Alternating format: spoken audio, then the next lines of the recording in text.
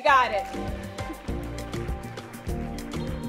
And I think we're going to take a few questions. Yes, so I'm happy to answer any questions that you all may have.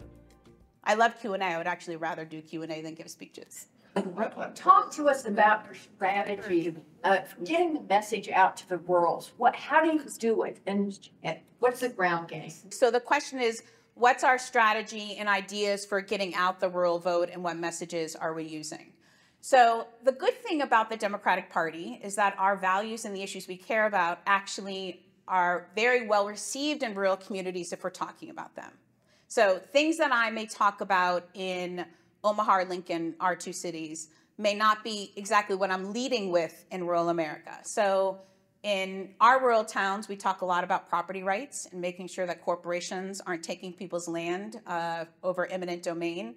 Uh, and on the flip side, for our tribes, that's protecting their sovereign rights to make sure that they have the right to determine uh, their land's future. Um, we talk a lot about right to repair. It's a very important thing for farmers and ranchers that they are able to fix their own farm equipment and not have to travel, you know, two hours to the John Deere dealership uh, in, you know, six towns over. But that also relates to city folks because if you've ever broken your phone and go to the mall to get it fixed, you break your warranty. So same thing for farmers and ranchers. If they try to fix a much bigger piece of equipment, more expensive, uh, it breaks their warranty too. Um, people assume that folks in rural communities do not want women to have their reproductive freedom, and that is false. Uh, Bold and the party in Nebraska have done polling after polling after polling every single year. A lot of rural folks will describe themselves as pro life. That's part of their identity. And for us to try to change that identity is trying to tell somebody they're not a Chiefs fan, they're not a Catholic. You know, it's, it is in their DNA that they are pro life. They're very proud of that. But when you then ask them the second question, do you think that women should have reproductive rights? The majority actually will say yes. 60% say that they're pro life, 60% believe that women should have reproductive rights in the state of Nebraska. I bet you if a poll was done in Oklahoma, it'd be similar. Um, so we can't be scared to talk about uncomfortable issues in our rural towns because as soon as we do, the rural people will smell fear on you. They won't trust you and they will think that you're just like all the other big city Democrats, you know, that live in New York. So my advice to all of our candidates all the time is one, obviously know what's happening in rural towns. There's always an issue of something happening in a rural community. And two, be yourself. If you don't wear cowboy boots, don't wear cowboy boots when you go to a rural town. If you don't hunt, don't put on a camo vest for a TV ad. Um, you know, it's like I tell candidates when they go to talk to young Dems, you do not have to wear a t-shirt and jeans when you go to talk to the young Democrats. You can just wear your regular clothing. Um, so it's really about being your authentic self. Do you add Monsanto and the right to repair? Ah, yes. Farmers do not like Monsanto. Uh, they don't like contract farming of places like Costco, Costco and others. You know, they know that for some younger farmers that that might be an entry point into farming and ranching, but that it only puts them in a cycle of debt, so it doesn't really solve the problem. Um, so yeah, Monsanto's a big deal. They also may not, they don't use the words climate change. Um, you know, it took 12 years for us in Nebraska to stop the Keystone XL pipeline. And that took a very unlikely alliance of farmers, ranchers, progressive, tribal nations all coming together. Um, they, and I didn't even use the words climate change because I wasn't a climate activist when we started that fight. But it was interesting because we were honest with each other and teaching each other. They taught me things about the land and the Ogallala Aquifer that I didn't know. I taught them about organizing and politics. It was a really beautiful relationship, which is what we should, and I talk about this in Harvest the Vote, you have to almost model what we did around Keystone XL. That's one example. You could insert any organizing campaign on an issue and apply that to politics so it's not so transactional all the time. Um, but it was interesting for me, the farmers and ranchers who were engaged in that fight, about year three, they started to use the word climate change. Um, and not all, but some have changed their party registration not to be a Democrat. They're like, don't push us that far, Jane. Uh, but they're independents, uh, and they have stopped watching Fox because they think that Fox has really done a lot of damage to their community. So, relationships, it's a long, it's a long haul, but really good people live in our rural towns. Yeah, what's your, what is your sage advice for Arkansas river rights? Ah, the river rights.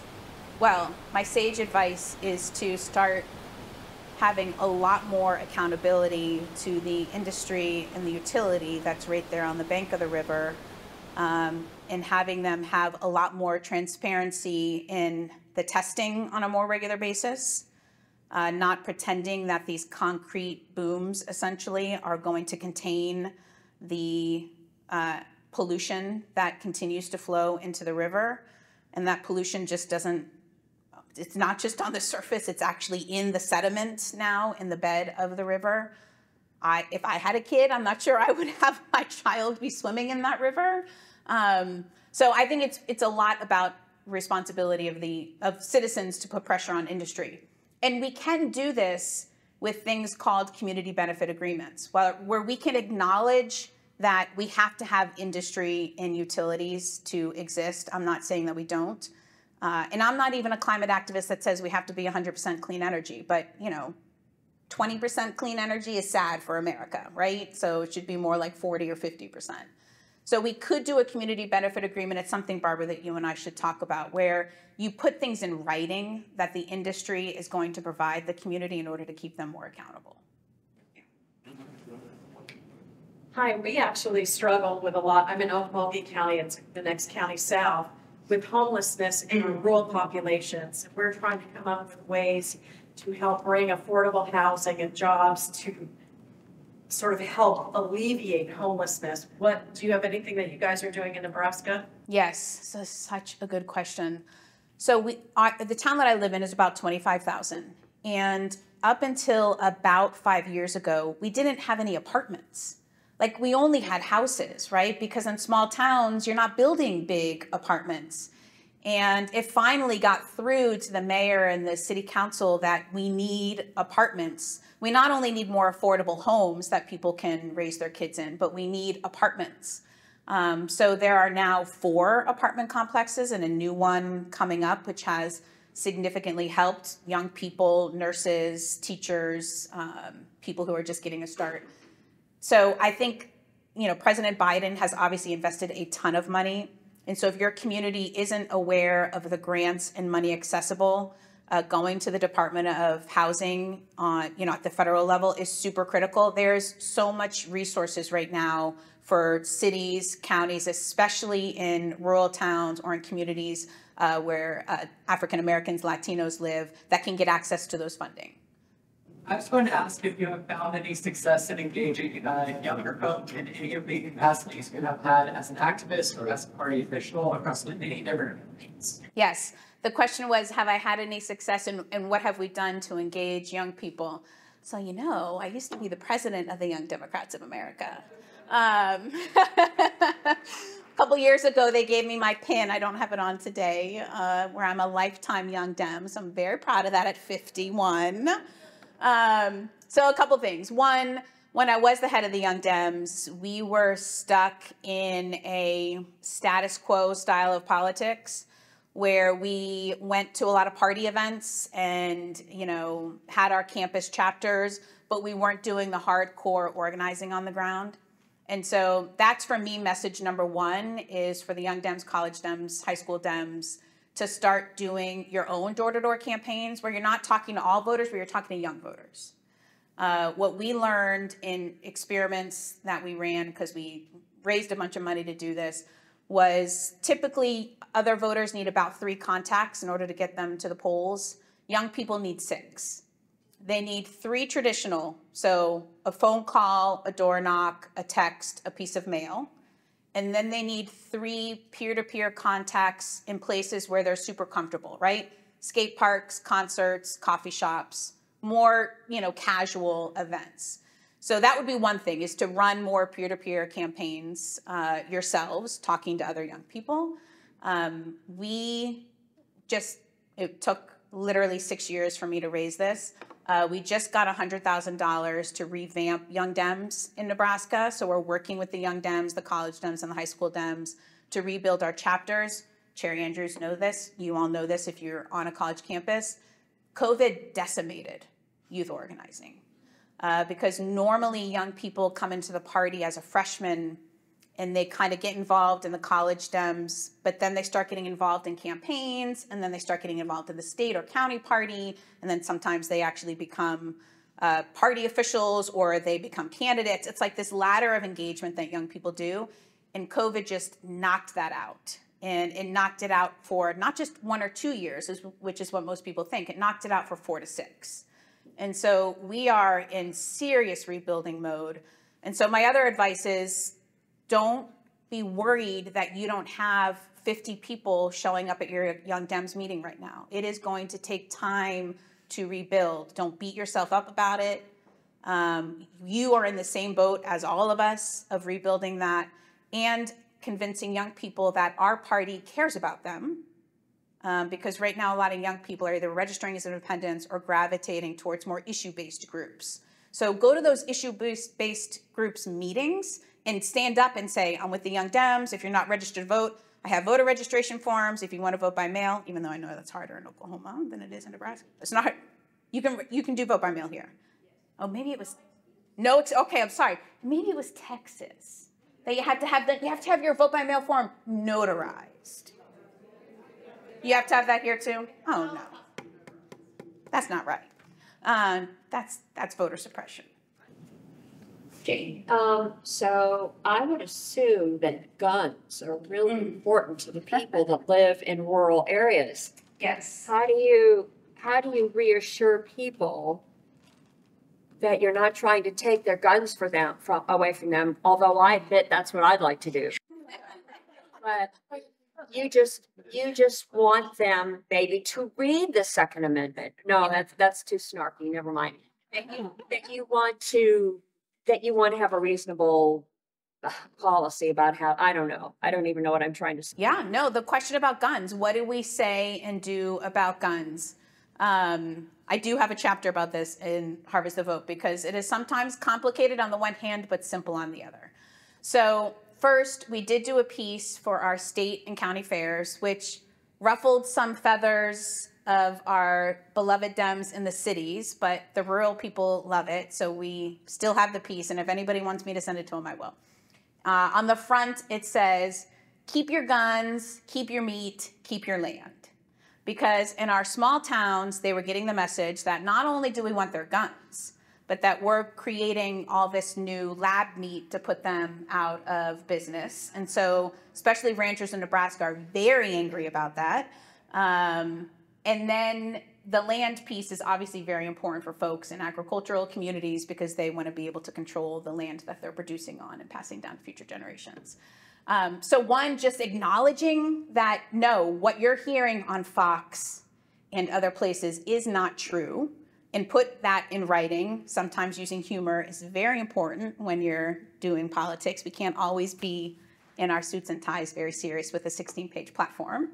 Um, so, one, acknowledging the facts. And two, I think we do have to acknowledge and be uncomfortable with rural communities and rural households do have more guns than folks in the city. Um, they're often in safes, and that's something that we talk about is making sure that our guns are in safe storage. Um, a lot of rural people, though, too, and we see this in polling, they believe that there should be reforms, right? That they don't believe that a universal background check infringes on their first or their Second Amendment right. Right now, the background check system is such a patchwork quilt. You could go across the state line and be able to buy a gun if you couldn't buy it in another state. Um, so, talking about basic gun laws is also something that I think we have to talk about and constantly reiterate that no, we're not talking. I know some people in the room may want to banish guns forever. I get that. Um, that's not a reality in America. Um, but we also shouldn't have more guns than people in America, which is also a problem.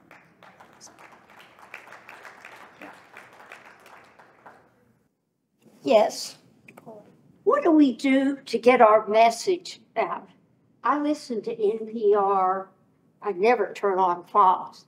But it seems to me that our media is so absorbed with the other party that we don't hear anything about what the Democrats have done, what they will do. Yes. How do we get a voice back in the media?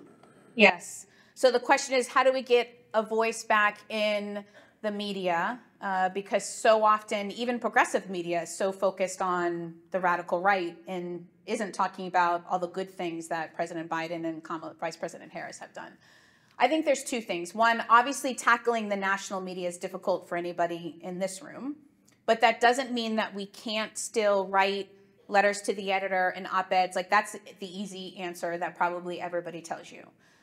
Something that we did this past fall, which we'll do again next year because it was super popular, and I'll send you a copy. We created our own newspaper. It was really cheap to do. Little did I know that creating a little newspaper was going to be so cheap.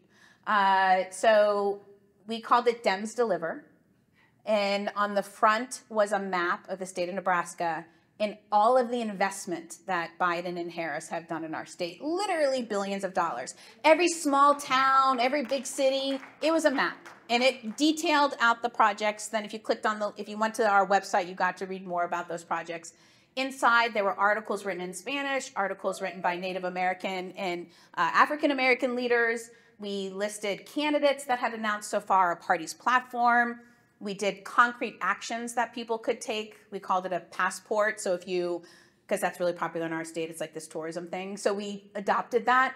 So if you registered a voter, you know, put up a yard sign, there's like 20 things you could do. If you did five and sent it in, we sent you a sticker. If you did 10, we sent you a t-shirt. So we did fun things like that.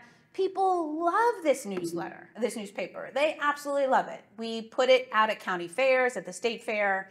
It was something that people could take that was more than just a flyer, that went more in depth about our party. So we were, my message with that is that we were telling our story on our terms with our messages. And I think that that's important because NPR and MSNBC are not going to save us. And I hope one day the Trump fever breaks for mass media, but I'm nervous that it won't because, you know, if you look at TV, you don't see them talking about all the times that Trump is just going on and on and on, rambling, you know, misnaming people. I mean, just all these crazy things that he's doing from the podium. And if Biden literally says one word wrong, then, oh my God, you know, he's done for, he, you know, should retire, et cetera, et cetera. So it is a very unbalanced media right now. But because none of us in this room can fix that, I think we have to do what we can do at the local and state level, which is create pieces that has our own message and narrative. Yeah. Yeah. All right, Dems, run for office. Keep building the party at the local level. That's where the action is. Thanks, everybody. Oh, wait. Oh. Wait.